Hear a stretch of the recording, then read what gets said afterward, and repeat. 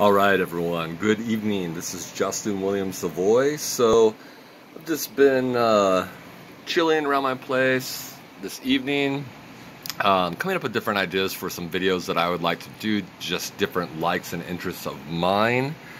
Um, kicking it here. Had a lot of art stuff going on, some music stuff. I've shown you guys some of the stuff I got going on in that area. Making some shirts.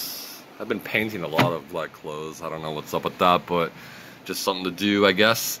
Um, so this is a book called A Primer of Drug Action. I used to use it in my old workplace, actually. Um, and uh, KDAC um, gave it to me. Uh, it was interesting, and uh, there's a lot of good information here. So it's a concise, non-technical guide to action, uses, and side effects, and of psychoactive drugs. So I'm all about it, and uh, I've got a dual degreed person here, a medical doctor and a philosophy doctorate holder. So we know this person's probably a researcher. I don't really know much about this author. Robert M. Julien, MD, PhD, is staff anti anesthesiologist at St. Vincent Hospital and Medical Center in Portland, Oregon, a physician and a pharmacologist. Dr. Julien is the author of many articles and reviews as well as Drugs and the Body, 1988. So another good book if you want to study um, about drugs in general and also um, in particular psychoactives. You can read a book called Uppers, Downers, and All Arounders. And that's another author that's visited this area here as well. Several friends of mine have made mention about, you know, um, book signings by that author and meeting them at community colleges and a university here locally. Um, so psychopharmacology has been a big interest of mine. It's what I went to school for.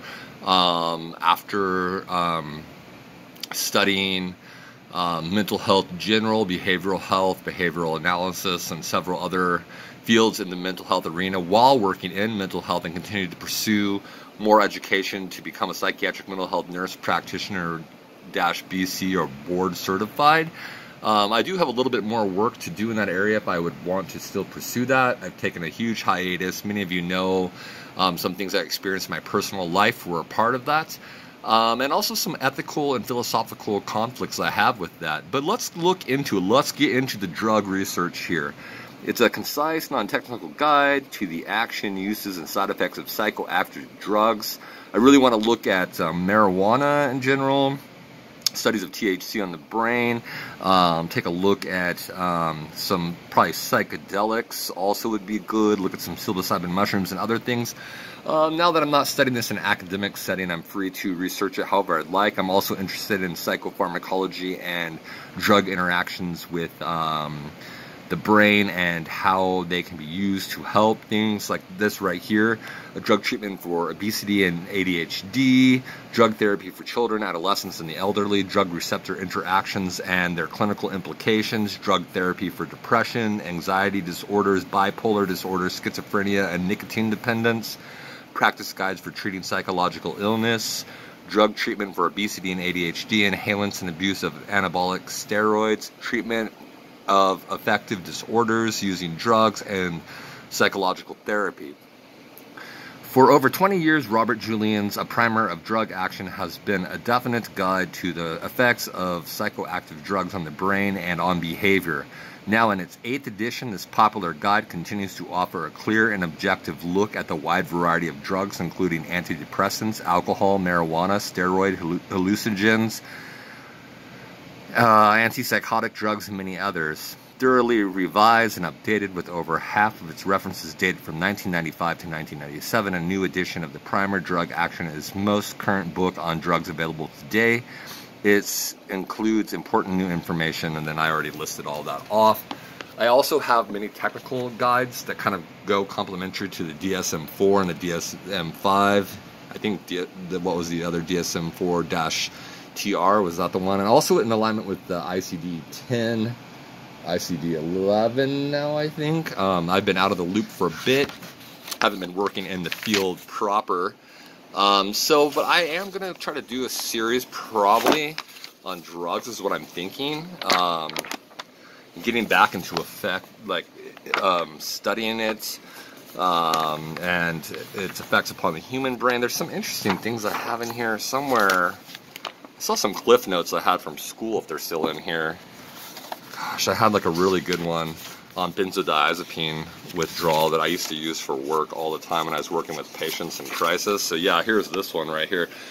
This is good, man. This thing, Xerox and give it to someone who's studying these topics because this was just a handy reference thing to um, for myself and my colleagues to refer to. Benzo withdrawal symptoms, jumpiness, restlessness, insomnia, nightmares, sleep disturbances, increased anxiety, panic attacks, agoraphobia, social phobia, perceptual dis- distortions, intrusive memories, depersonalization, derealization, hallucinations, misperceptions.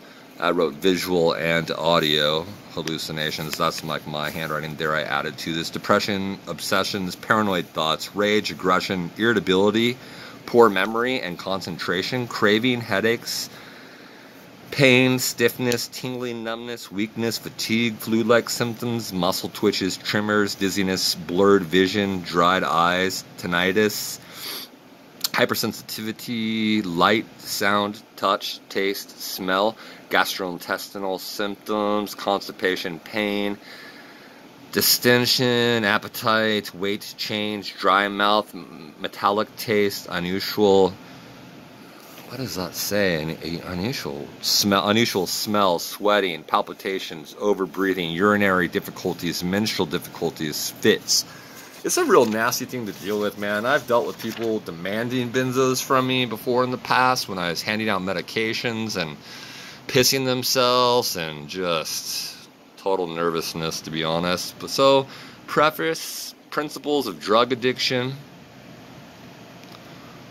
pharmacokinetics, how drugs move through the body, drug absorption, drug distribution, termination of drug action, time course of drug distribution and elimination, drug tolerance and dependence. So, Pharmacodynamics, drug receptor in- interactions, drug receptor affinity, dose response relationship, drug safety and effectiveness, veritability and drug responsiveness, drug interactions, drug toxicity, placebo effects, central nervous system depressants, traditional sedative, hypnotic drugs, and anti-epileptic drugs, general concepts, historical background, sites and mecha- mechanisms of action, uses, specific CNS depressants barbiturates, miscellaneous, non barbiturate, sedative hypnotic drugs, general anesthetics, anti epileptic drugs, including those used to treat psychological disorders, relationship between structure and activity, barbiturates, hyd, no, wait, what is this one? Hydon, hydanatoins, benzodiazepines, car, carbamazepine, valproic acid, anti-epileptic drugs in pregnancy. It's been a while since I looked at all this stuff. Central nervous system, depressants, alcohol, and inhalants of abuse, drug treatment and anxiety disorders, benzodiazepines, and second generation anxiolytics, psychostimulants, cocaine, and amphetamines. That would be interesting to look at. Cocaine, chemistry, psychokinetics, pharma pharmacodynamics, side effects of short term, low dose use, toxic and psychotic episodes of long term, high dose use, fetal effects, treatment of cocaine abuse, amphetamines and related drugs, mechanisms of action, pharmacological effects, dependence, tolerance, ICE, a freebase form of methamphetamine, therapeutic uses of amphetamines and related stimulants, psychostimulants, caffeine, and nicotine. That would be good for all of us to consider. Um, nicotine, antidepressant drugs for decades of continuing progress, pharmacotherapy for bipolar disorder, anti-manic drugs, antipsychotic drugs, conventional and new generational agents, opioid, and eh, analgesics, marijuana, a unique sedative, euphoric psychedelic drug. We should take a peek at that one, guys history, mechanisms of action, the cannabinoid receptor, pharmacokinetics, pharmacological effects in animals, pharmacological effects in humans, side effects, tolerance and dependence, therapeutic uses, marijuana and public safety, psychedelic drugs, mescaline, LSD, phencytoline and other hallucinogens, something I definitely want to look at, just definitely an interest there. Anabolic, androgenic steroids, drugs and society, priorities and alternatives, integration of drugs and psychopharmacological therapies in treating mental and behavioral disorders, appendix pharmacological regulation of female fertility, oral contraceptives and related drugs, non-opioid analgesics, uh, pharmacological treatment, and Parkinsonism.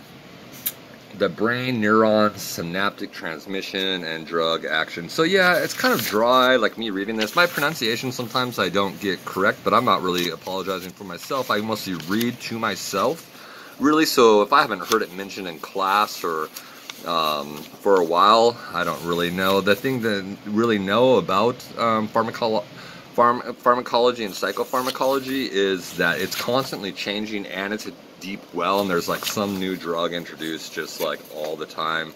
Um, so that's the gist of this book. I'm going to look at it more in depth probably. This is always great stuff to take a look at if you're just like a real nerd like me. And here there's some very interesting charts in here. I'll try to show you guys. Turn this sideways. But really the main purpose of this video tonight, taking a look at this book, A Primer of Drug Action, Robert M. Julien, MD and PhD.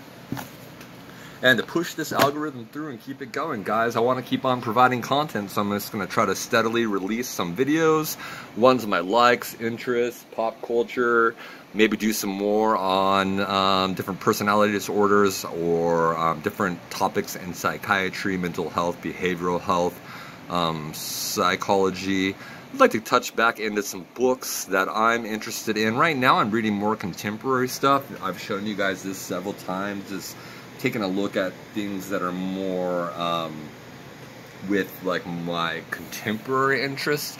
But eventually I'd like to get back into some more theology and philosophy and some of the classics, particularly Greek and Latin. As you may know, when I started out my studies, I did not intend to end up working in psychiatry or mental health, but my intention was to work um, as an academic, um, to teach at university, and um, my main interests are religion, philosophy, theology. Um, but it all ties in with like linguistics and anthropology too, right? Sociology, somewhat. Um, there's a lot of overlap, especially when you have a focus like mine was as an undergrad and some post back in literature. And then I got more interested in medicine and behavioral health and other things tied into just kind of falling into work in that field. And um, here we are. So, a big part of working in mental health, even if you have a very um, entry level job, say you are like a mental health tech or a QMHA, which I was for many years, a qualified mental health associate or a qualified mental health professional. Um, if you're not a psychiatric provider per se, but um, you are a mental health provider, then um, it's good to familiarize yourselves because mental health techs often um, can also be med techs and administer medications via the help of like an RN.